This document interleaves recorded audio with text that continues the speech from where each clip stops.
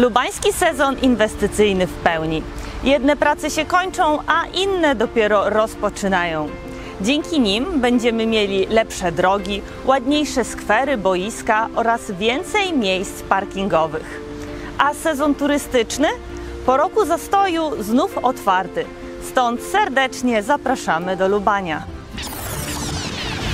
Dziś w wideoinformatorze opowiemy o remoncie parkingu na osiedlu Piastów oraz miejskich atrakcjach turystycznych. Dobra wiadomość dla mieszkańców osiedla Piastów. Przy ulicy Mieszka II rozpoczęto budowę parkingu.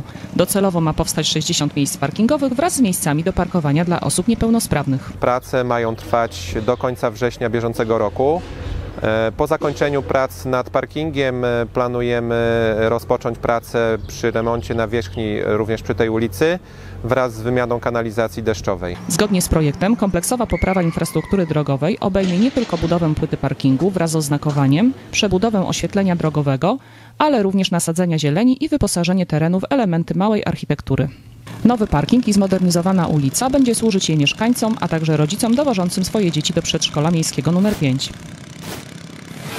Po długiej i przymusowej przerwie wracamy do aktywności sprzed pandemii. Jeszcze z obostrzeniami, ale otwiera się kultura, gastronomia, hotelarstwo. W ślad za tym podnosi się branża turystyczna. Zachęcamy więc do odwiedzin w Lubaniu i polecamy nasze atrakcje turystyczne.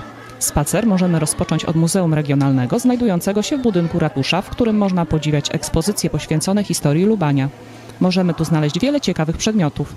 Jedne związane są z epoką średniowiecza, z wojnami husyckimi, inne z wojną 30-letnią, a jeszcze inne z II wojną światową.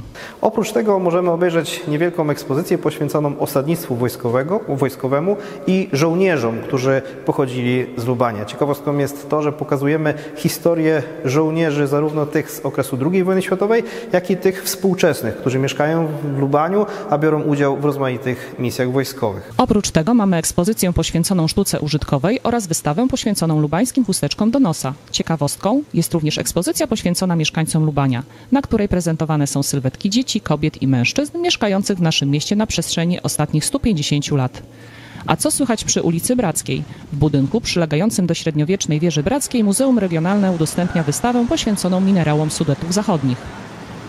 Prezentujemy tutaj około 500 okazów z najważniejszych sudeckich lokalizacji. Można zobaczyć wspaniałe kwarce karkonoskie, agaty z Podlubania, co jest wielką ciekawostką. Oczywiście agaty z okolicy Lwówka, Złotoryi, a także bardzo dużą kolekcję kalcytów z okolic Grabiszyc. Stosunkowo niedawno trafił do nas również olbrzymi okaz ametystów z Karpacza, który będzie niebywałą gratką dla tych, którzy w sposób szczególny ukochali czy też pokochali minerały z Karkonoszy. Sama wieża Bracka również czeka na zwiedzających.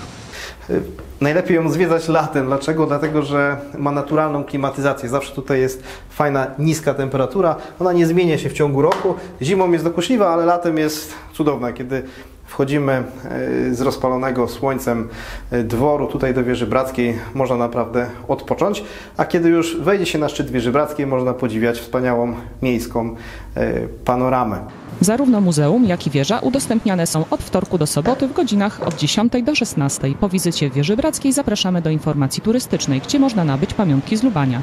Informacja turystyczna jest czynna od poniedziałku do piątku w godzinach od 7.30 do 15.30, a w sobotę od 10 do 16.